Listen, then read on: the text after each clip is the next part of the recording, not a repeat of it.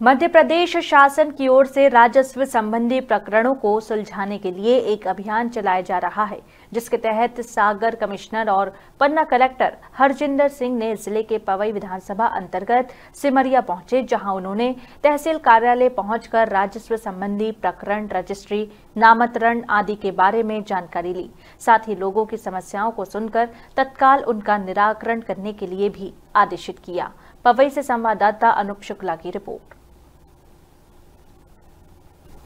अभी हमारा जो मध्य प्रदेश सरकार ने जो राजस्व अभियान, महाअभियान चला के रखा है तो उसमें जो है उनतीस तक जो राजस्व प्रकरण जैसे अभी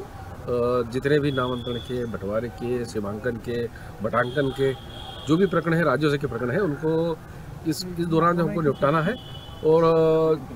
प्रयास करेंगे कि सभी जो जैसे कि सरकार की मंशा है उसके अनुसार जो है हम पूरा का पूरा